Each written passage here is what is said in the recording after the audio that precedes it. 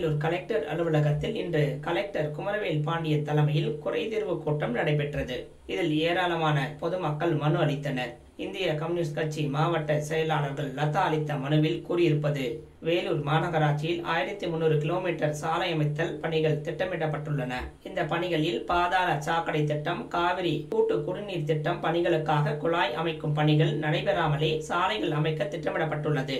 வேலூர் மாநகராட்சியில் இருபத்தி ரெண்டு முதல் இருபத்தைந்து வார்டுகளுக்கு உட்பட்ட தெருக்களில் அமைக்கப்படும் சாலை பணிகளில் பாதாள சாக்கடை திட்ட பணிகளும் குடிநீர் திட்ட பணிகளும் நிறைவு பெறாமலே சாலைகள் அமைக்கப்படுகிறது.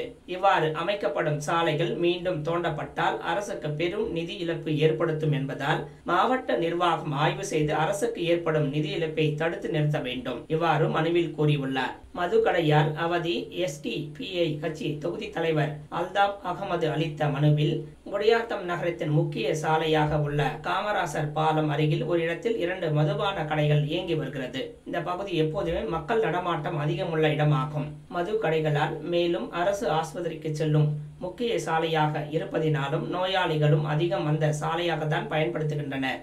இதனால் எந்நேரமும் இந்த சாலை வாகன நெரிசலாக காணப்படும். கடந்த சில மாதங்களுக்கு முன்பு போக்குவரத்து நெரிசலால் சாலையோரமாக நின்று கொண்டிருந்த ஒருவர் மீது பஸ் மோதியதில் அந்த நபர் தற்போது காலையிலிருந்து தவிக்கிறார். எனவே மதுபான கடைகளை அங்கிருந்து அகற்ற வேண்டும் என கூறியுள்ளார். பெண் தர்ணா கலெக்டர் அலுவலகத்தில் காயிதா மில்லாத் அரங்கத்தின் முன்பாக திடீரென பெண் ஒருவர் தர்ணா செய்தார். பின்னர் அதிகாரிகளை அவரை அழைத்துச் சென்று கலெக்டரிடம் மனு அளிக்க செய்தனர். அவர் அளித்துள்ள மனுவில் கூறுகையில் என் பெயர் பரிமலா நான் காட்பாடி தாலுகா மேல்பாடி கிராமத்தில் வசித்து வருகிறேன். நான் காதல் திருமணம் செய்து கொண்டேன். எனக்கு என் அப்பா முனிசாமி அவருடைய நிலத்தை எனக்கு செட்டில்மெண்ட் கொடுத்துள்ளார். கிராம நிர்வாக அதிகாரி துணை தாசில்தார் சான்று பெற்று நான்கு வருடங்களுக்கு முன்பு பத்திரப்பதிவு செய்துள்ளேன். என்னுடைய அப்பா கடந்த மாதம் இறந்து விட்டார். இன்னும் அவர் பெயரிலே பட்டா உள்ளது. இதனை எனது பெயருக்கு பட்டா மாற்றி தர வேண்டும் என்று மனுவில் கூறியுள்ளார். கணையம்பாடி ஒன்றியம் மூஞ்சூர்பட்டு ஊராட்சிக்கு உட்பட்ட ஆறுகட்டான் குடிகை பொதுமக்கள் அளித்துள்ள மனுவில் எங்கள் ஊரில் செயல்பட்டு வரும்